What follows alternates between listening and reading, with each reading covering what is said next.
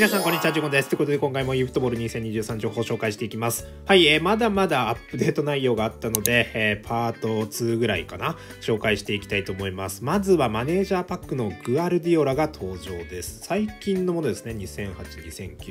いや、カンナバーロの方が最近か。はい、えー今回数値がポゼッションが87なので結構高いんですけど、ただクライフも結構頑張ってるんで、ポゼッションだけを使う方は別にかなって感じはする。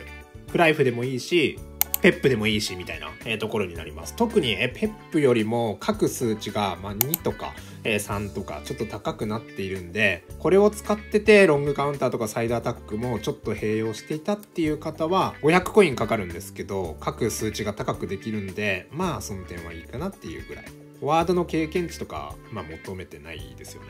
って感じです。はい、えーそしてあとは今後のアップデートの予定のご紹介というところがね、気になる方多いんじゃないでしょうか。えー今年の春予定なのが選手の保有枠拡充。これ結構ね、コメントも多かったですが、されるそうです。少々お待ちを。えー既存選手へのスキル追加できる機能の搭載。選手の契約期間を更新するアイテムとその入手方法の追加。なるほど。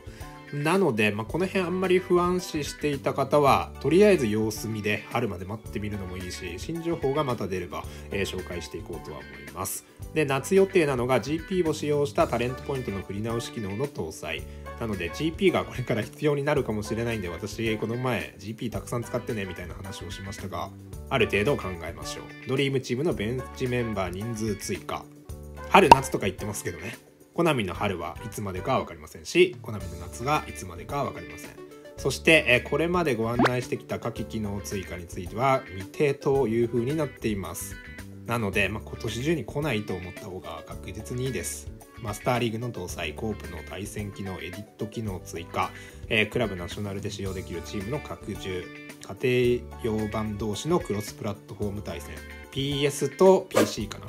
で家庭用とモバイル版のクロスプラットフォーム対戦。モバイルのコントローラー対応。はい。まあ今年中には来ません。確実に来ません。はい、そしてツアーイベントとチャレンジイベントが全部で9ついや8つぐらい来てるのかな？めちゃくちゃ来ているので一つ一つ、まあ、どういうアイテムがもらえるのかみたいな話をします。まずは自分が一旦クリアしたんですけど右側のイングリッシュリーグっていうツアーイベントに週間 FP の無料券が入ってるんでこれは確実に今週中にゲットしてください。期間も1週間になってるので確実に。他にもツアーイベントは来ていてナショナルチームのものはアチーブメントの一環で、えー得点とか取ると報酬がもらえたりとかするので、えーそちらも確実にこのツアーイベント自体はトレーナーが結構多めに入ってます。はい、えー真ん中の ACL のツアーは ACL のスタンダード選手がもらえるだけなんでそんなに優先度は高くないです。期間は1週間。でもう一つあるのがツアーイベントのこのメキシコのものですね。メキシコのものに関しては今メキシコのガチャが来ていると思うんですけどこれの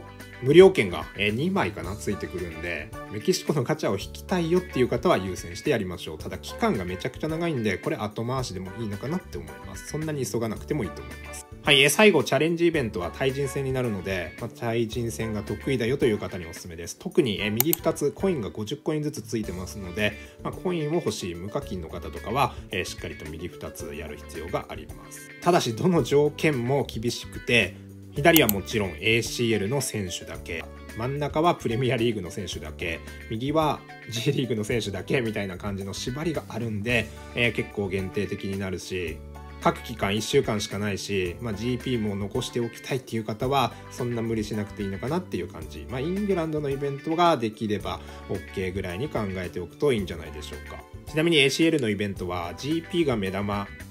報酬になってるんでそんなに美味しくはないです。なので対人したい方はイングリッシュリーグこちらを優先的にして、まあ、選手があるよという方は J リーグとかやってもいいかもしれない。でツアーイベントはとりあえず週間 FP 獲得できるイングリッシュリーグのものやってナショナルチームズやってみたいなところでいいと思います。あとは各ガチャ券が欲しい方はメキシコとかやるのがいいんじゃないでしょうか。フランスリーグは月曜日から来てたんでやってない方はやりましょう。そして今回のアップデートから10連で引けるような仕様も追加されています。1人獲得するには100コインなんですけどこれ10人獲得するときは900コイン。1割引きって言えばいいのかな、えーちょっと引かれるっぽいんで少し安いです。ただ900コイン引いてゼロの可能性もあるんでそこの覚悟は必要。運良ければ目当ての、えービッグタイエピック3名がね一気に来る可能性もあるしゼロの可能性もあるという、えー、なかなかシビアにはなってます。この10回ずつ引いていくと単純に15回で引き切れるしコインが余っててっていう方とか廃課金者は10回ずつ拭いていってもいいのかなって思います。無課金の方は悩みますけど割とコインに余裕がある段階なら10回連続でも